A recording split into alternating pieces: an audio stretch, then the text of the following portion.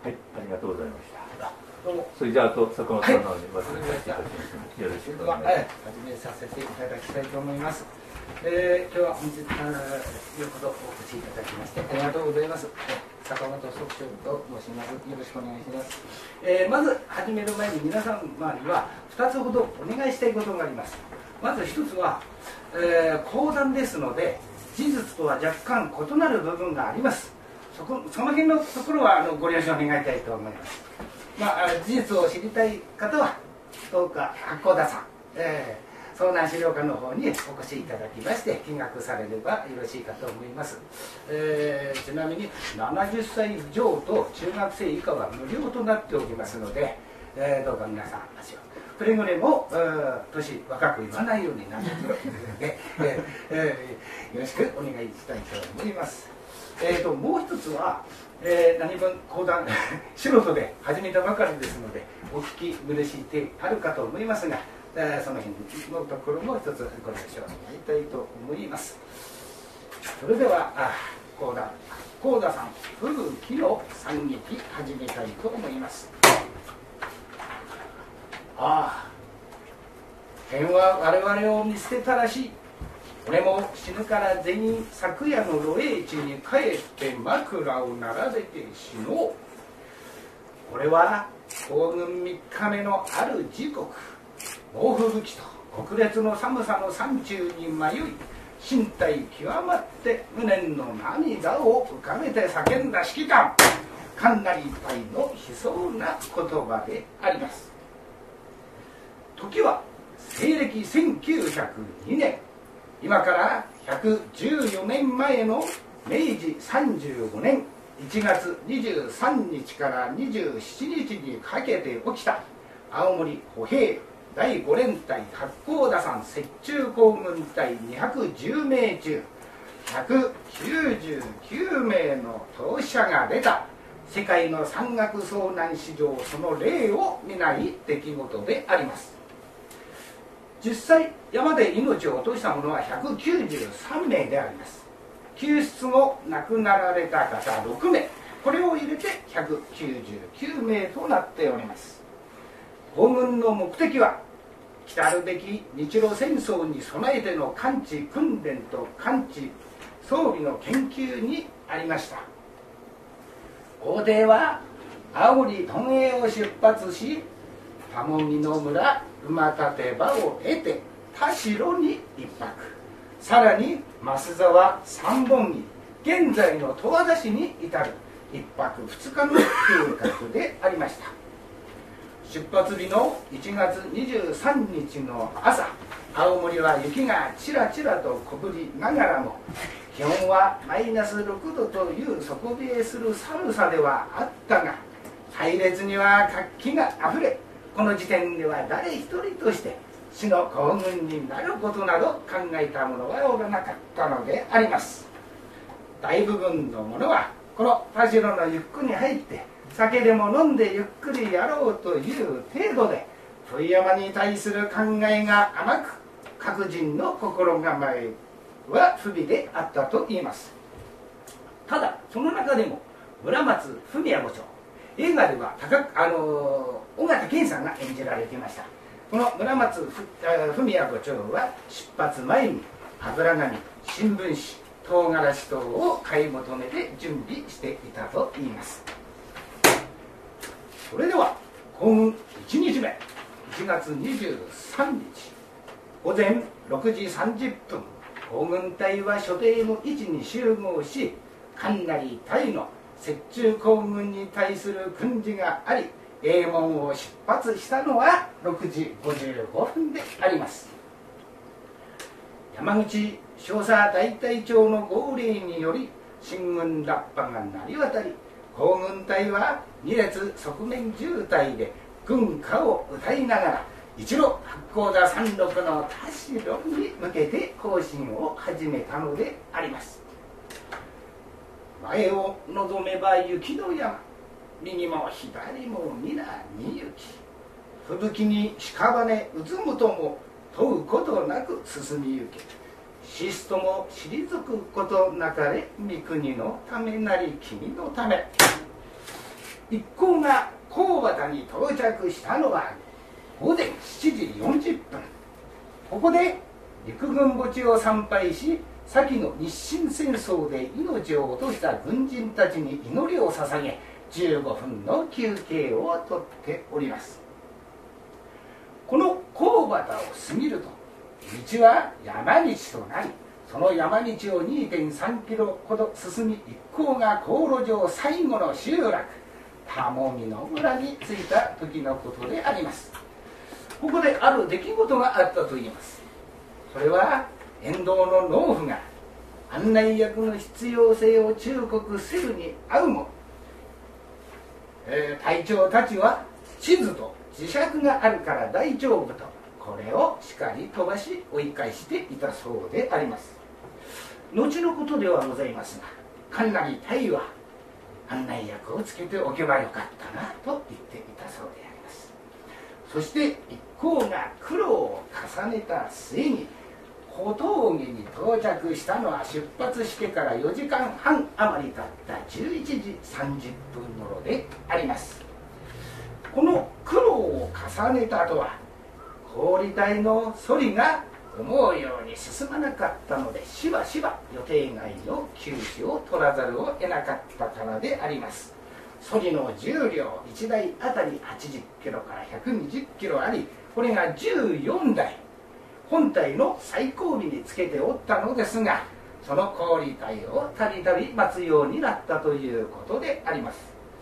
ここで氷体について少しご説明いたします。えー、氷体これ手作りですいません 氷氷と、えー、氷体の氷とは旅行用の荷物入れて、えー、竹または柳で編んだ籠のことを言うそうでございます。本来は青つづらのつるで編んだ籠のことを言うそうでございます。でこれ、えー、ああそこにもあのちょっと、まだまだあれあれの大きいやつですね、昔はどこの家庭でもここありましたですよね。ましたですね、えー当時の軍隊ではこの中にあの戦闘や宿営に必要な食料やあの弾薬あるいは器具などを入れて、えー、運ぶその部隊を氷隊と言ったそうです当時は、はい、ううう運送部隊とかそういうのじゃなくて氷隊と言ったそうでございますので。でこの氷の中に、まあ、食料や炭釜などを入れてこれをソリに積んで運んだのでありますがではどうしてそのソリが思うように進まなかったのかと言いますとこれソリです。ソリという漢字私初めて知りましたので 広角像でございます、え、これソリですけどもソリというのはある程度平らなところ。また雪がこう踏み固まった圧雪状態であれば何らスムーズに運べたのでありますが何にせ雪の深い山道またこう左右のこう傾斜もある。これなるとあの煮崩れしたりしましてこれがなかなか思うように進まなかったと。これに苦労したということです。これが後々皇軍の妨げともなっていったのであります。またこの頃から天候が急変し風雪強く寒気加わり携帯の米飯おにぎりや餅などは凍結してしまい昼食に難儀したそうでございます。タバコを吸うにもマッチの火はつかず火打ちドームでやっと着いたとのことであります。この状況を見た長井源吾三等軍医が山口大隊長にこのままでは危険危険なので一応期待してはどうかとの意見不信があったので早々証拠を集め協議した。これがなかなか意見がまとまらない。また価値観の反対もあってついに皇軍続行を決めたのであります。もしここで長い言語三等部員の意見を聞いてここで帰っておればこの遭難事故は起こらなかった。のであります。残念であります。この後も天候はさらに悪化し行軍に困難したが大滝平西の河原を通り過ぎなんとか航路上の最高地点である馬立場標高732.7メートルに到達したのは午後の4時頃であります。この馬立場から田代までは鳴沢と平沢という2つの沢を越えなければならない。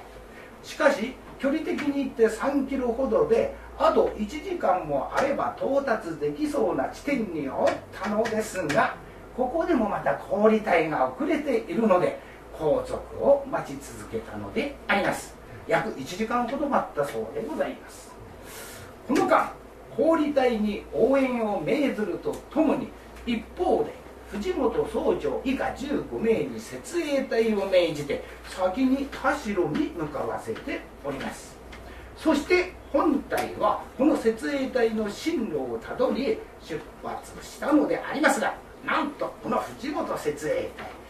道を失い本体の最後尾と合体してしまったということであります。ここでも少しご説明申し上げます、えー、こちらが設営隊先に田代に向かいました。そしてこの設営隊の進路をたどりあ本体も出発した。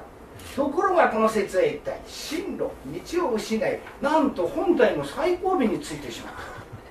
ということであります。これはどういうことかと申しますと道を失った設営隊の進路をたどった本体でありますから本体も道を失っているということになります。これを登山用語では感情方向と言いましてリングワンダリングというそうでございます、えー、といつもだそうでございます。あまりその気はす。みません、そこで山口大隊長は水野中尉田中今泉両見習い士官に田代方面を偵察させたところ進路瞬間で全身容易でないという報告を受けまた加えて吹雪猛烈となったので田代に達すること困難であると認めこの平沢の手前で露営することになったのであります。これが第一露営地でございます。これが1月23日の午後9時頃であります、ね、露営を決めた時点でまず行ったのは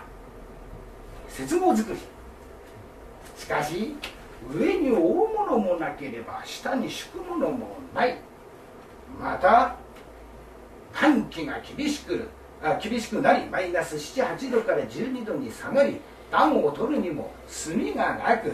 隊員は上と寒さと戦っていたのでありました。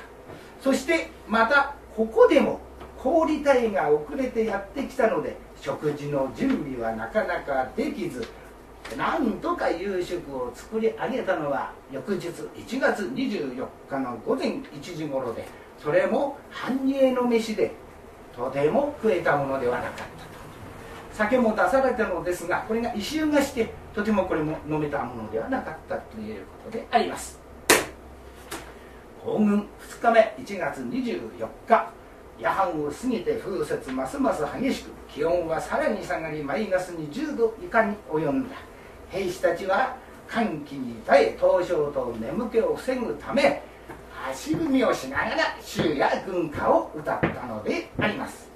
目的の田代まではあとわずかなところではあったが仮眠に及ぶ者が出たため山口大隊長は各中隊長軍医と協議したところすでに行軍の目的はおおむね達したということで屯営に帰営することを決めたのであります。初めは午前5時の出発の予定であったが現状を目撃した山口大隊長は卒業前の出発が良いと決心し卒業前とは夜明けないということです、えー、かなり隊の反対を押し切って即時出発することに変更して午前2時半吹雪と暗闇の中出発したのでありました。砲軍隊は鳴沢あ鳴沢を、え得て、えー、又出場に出る計画であったが行進1時間で道に迷い。鳴沢の渓谷に入ってしまったのであります。そこで再びこの第一路営地に引き返そうと展開行進を始めたところまだこの第一路営地に達しない前に佐藤徳務総長が田代の方向を知っていると称し自ら先頭に立って進んだのでしたがこれがさらに道に迷い今度は駒込川の本流に出てしまった。一歩も前進することができなくなった。そこで皇軍隊はようやく小さな窪地を探し露営することになったのは1月24日の午後5時頃であります。これが第2露営地でございます。えしかしこの日の行軍は遭難者が最も多く寒気と猛吹雪のため体力を消耗し空腹と睡魔のために人事不詳となり発狂しする兵も出て岐路の定まっていない、えー、雪の中を泳ぐような行進に隊列は乱れ混沌する者続出し水の注意以下多数の犠牲者をここで出しております。実に3分の1の隊員を失ったのであります。黄軍3日目1月25日。第二路英一で上と寒さで人事不詳に陥り投資する者多くこの三条見た山口大隊長は午後10時ごろ証拠を集めすでに方向を誤りたる上はたもぎの方向へ前進せば救援隊と出会うこともあるからと帰営を帰営することを決めそして夜間出発は危険なので天命を待って出発すべしと神成隊員に命じております。ところが神成隊員は午前3時ごろ各小隊を集め人員を点検したら3分の1はすでに倒れ3分の1は凍傷で体の自由を失い比較的、えー、健全なのが残り3分の1の70名ほどであった。この日の皇軍も卒業前夜明け前の出発で道に迷うことに見たり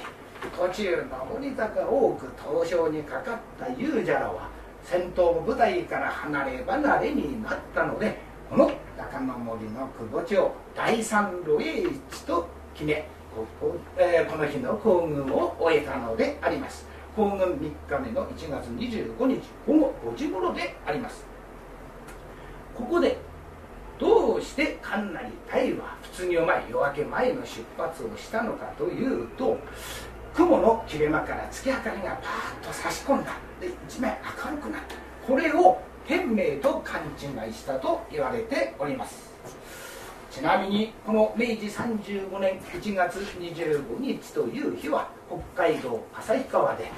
マイナス41度という日本最低気温を記録した日でもあります。この記録は今もまだあ続いておりますね、えー、はい。訪問4日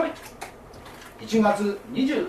日青森関営を出発して4日目を迎え連日の歓喜ですでに凍傷に侵され胸を没する新設を踏み開き前進する激動と不眠不休のため隊員たちは心身衰弱眼色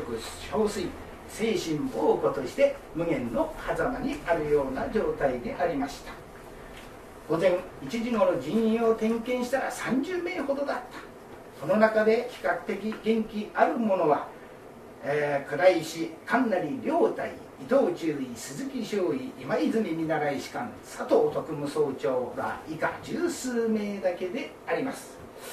午前11時ごろ倉石対一軍は右側に神成対一軍は左側にそれぞれ道を求めて前進したのでありますがついにこの両隊再び会うことはなかったのであります。倉石対一軍78名は駒込川の渓谷に陥り青岩付近で両岸断崖が連なり一歩も進むことができなくなりここを死にどころと定めたのでありました。一方神成対67名は帰路を発見したが大滝平で空腹と寒さのためついに倒れたのであります。この時神成大和後道部長に再起の命令を伝えております大はもはや起き上がる力もない部長が助け起こして同行しようとする。と大は恋もかすかにもう自分は到底いかんから何時は体丈夫なればたむぎのに行きこの状況を伝えてくれと。それでも後藤五長は太陽見捨てるに忍びず死なばもろともぜひに同行をと進めたところ。いは恋を励まして今両人ともに死んだなら誰が報告の任に当たると思うか。くくたる市場に駆られずに一刻も早く行け。一心の瀕死眼中に存せざる体の息に余儀なくされ涙を飲んで全身を始めたご当ちょでありました。太郎早く行け！太郎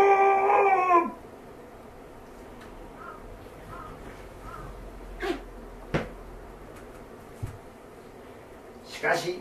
雪は腰をぶし両足は凍傷にて棒のごとく関節は効かない。心ばかり焦って少しもはかどらなかったのであります。ほとんど仮死状態で石地蔵のように立ちすくんでいるところ。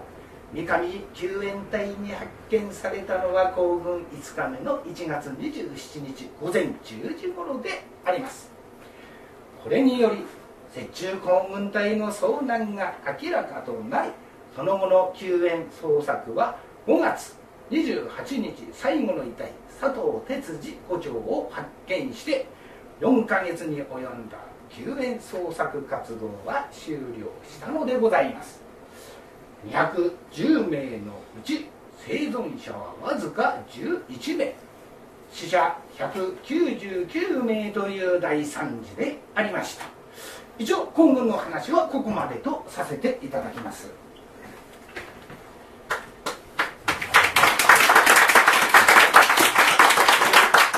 それにしてもこの惨劇の原因はどこにあったのだろうかと。同じ時期に弘前あ弘前歩兵第31連隊福島隊員率いる隊員37名東日報の新聞記者1名は11泊12日の八甲田山雪中行軍を踏破しているのであります。この時福島隊は兵士たちの訓示で次のように述べたという。自ら持って体験するところに大いなる意味があると思う。だがこうして自ら取得した貴重な体験も後々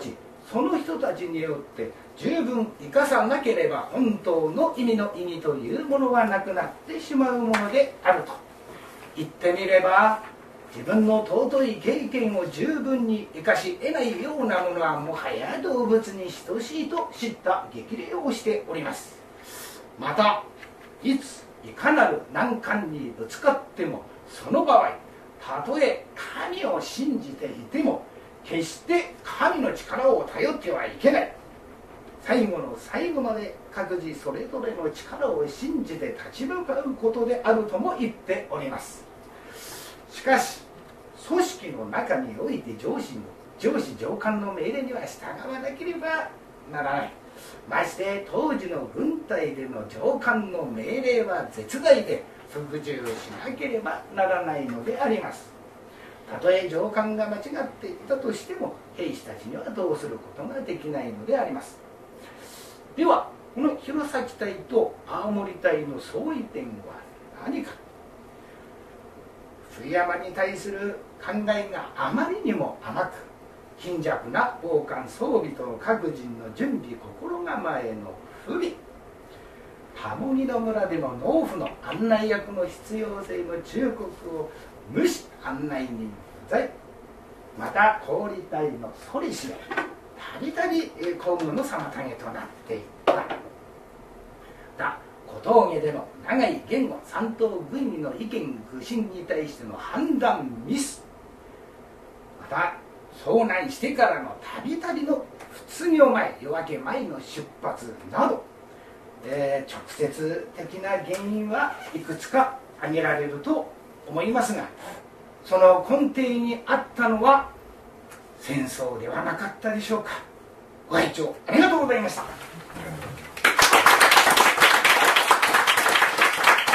うもすいません。ありがとうございます。